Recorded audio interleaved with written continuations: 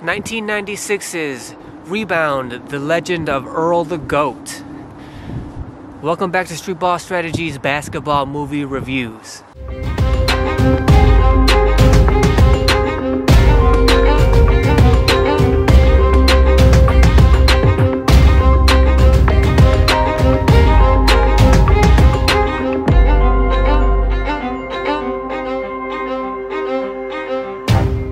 So I saw this movie in the late 90s. It came out in 96. I probably saw it about 98 and I've seen it a few times. And for those of you who are familiar with the main videos on this channel, this channel is all about becoming and building your own basketball legend, building your basketball legacy. One of the reasons for those videos to exist, this channel to exist, is because of this player, because of this actual movie.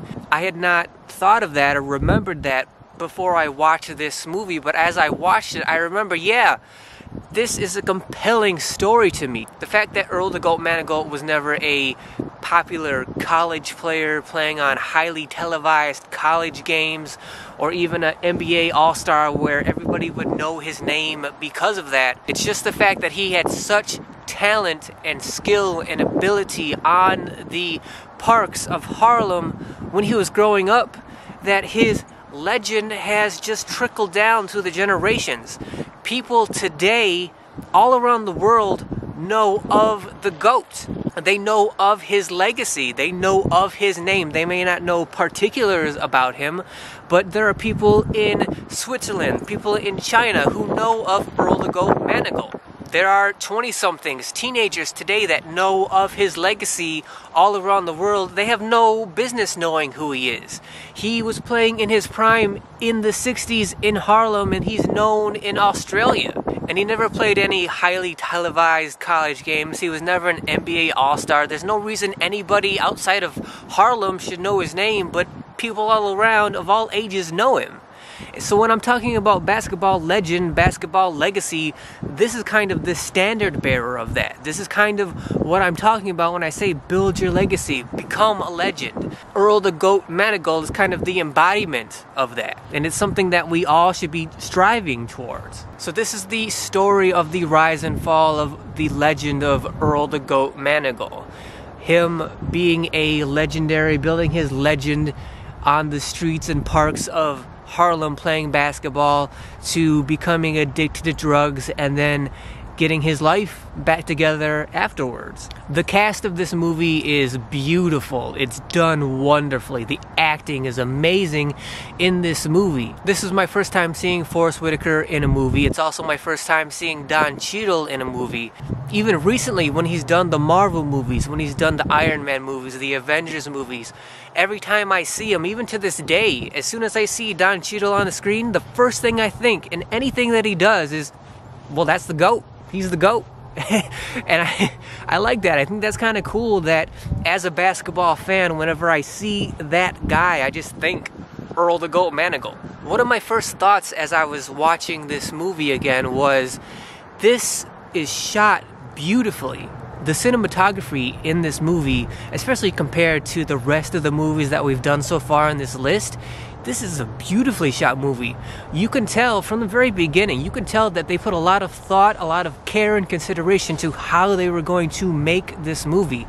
Everything about it is thought out so well and done so well, presented to us so well. I'm, I'm a huge fan of how this movie turned out. But there are a few problems here and there that, that I want to address. One is yes, this movie was made for television. I think it was made by HBO for HBO. So even though it was made for television, it was made for a, a pay cable station. It wasn't made for like CBS, you know. And for the most part, it looks really good. It feels really good. But because it was the 90s and because it was made by a television company, there are parts in the movie where it does kind of feel like a made for TV kind of movie. As far as the basketball in the movie, it is great. It's done great. The play is great. It's shot very well. Uh, you feel like you're watching real street basketball players at the park competing. When he's playing high school games, you feel like you're watching high school players play high school ball. It feels really good, it looks really good. But there is a. Uh, a, a kind of a problem, and, and, and it may be me nitpicking, but I can't help but to notice that. So, one of the major aspects of Earl the Goat Manigault's uh, legend is that he's a legendary high jumper. And of course, they have to demonstrate this in the movies. So the way they do this is they shoot Don Cheadle. They'll do him in a game uh, playing basketball, getting ready to dunk the ball, and you will see a full body shot of Don Cheadle, and he'll be in the jumping motion. So you'll see him getting ready to jump you'll see him jump and leave the ground, and then the very next shot is a close up on him dunking the ball at the rim. But there were a couple shots, two or three instances where the cut between the full body shot of him jumping and the close up of him dunking was a little poorly timed in that you will see the full body shot of him getting ready to make the jump. He'll jump he'll get to the apex of his jump, and that's where the cut should happen so that you see the close up of him actually dunking.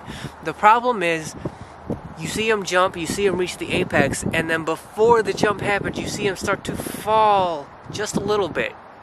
You see, you start to see the decline of his jump just a little bit, which takes you out of the movie because you notice that he's not actually flying through the air like the legends say that he does. So that actually takes you out of the movie a little bit because it reminds you that, oh yeah, Don Cheadle isn't actually the GOAT. He can't actually jump any higher than the average person. It's just Don Cheadle. And while that may be a small, nitpicky kind of thing, it happens two or three times in the movie. And one of the big selling points is that Earl could jump out of the gym, and when you see Don Cheadle jumping at the average height of the average man, it, it's kind of distracting. My third and only real issue with the movie is that the movie is about 110 minutes long. Uh, the first 55 minutes of the movie are sort of telling the backstory and the and the legacy of how Earl became so legendary as a basketball player. The next 45 minutes have to do with his drug addiction. And then the last 10 minutes are all about him getting his life together and his sort of redemption as a person. I would have liked to seen another 5 or 10 minutes of his sort of redemption story of him sort of getting his life back in order. I would have liked to seen a little bit more time dedicated to that part of the story, seeing him uh, become the new kind of Holcomb Rucker and and helping out the the kids and the youth of Harlem uh, through his actions and his redemption. I would have liked to see more of that, but the way it was presented in the movie was was good. I just I would have liked to see more of it. So is Rebound: The Legend of Earl the Goat a good movie? Yeah, it's definitely a good movie. Uh, I think it's a good movie in general, even without the great basketball scenes that it has in it. But the the basketball does help to you know elevate it even more, obviously, with him being a basketball legend. But just in general, I think this is a good story. Does the movie do what it's trying to do? Does it tell the legend and the story of Earl the Goat Manigault well? I think it really does. Uh, I, I, really appreciate the fact that there's a movie dedicated to a streetball legend like this who wasn't famous at all. He wasn't a big time college player or NBA player, and yet this movie was so caringly, carefully made to honor him and his legacy that I, I think they really did a good job. Should you see it, do you need to sort of experience it? This is the first time I'm giving this question a hard yes. You definitely should see this. You're watching this because you're a basketball fan. That's the assumption. And because of that, basketball people should see this movie. They should know this legacy. They should know this guy and his contribution to street park basketball. You need to know this. For those of you who saw my earlier review of the Basketball Diaries, this movie is comparable to that in that they're both kind of cautionary tales that say this basketball player had potential to be great.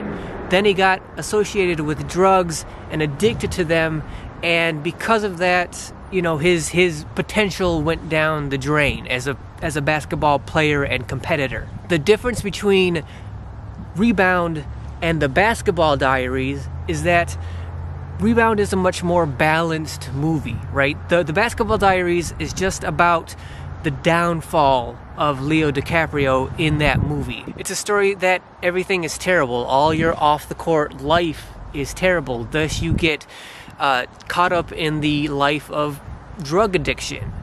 And there's really no positives in that movie except for kind of at the end where he doesn't die of drug overdose and he gets his life together at the very end.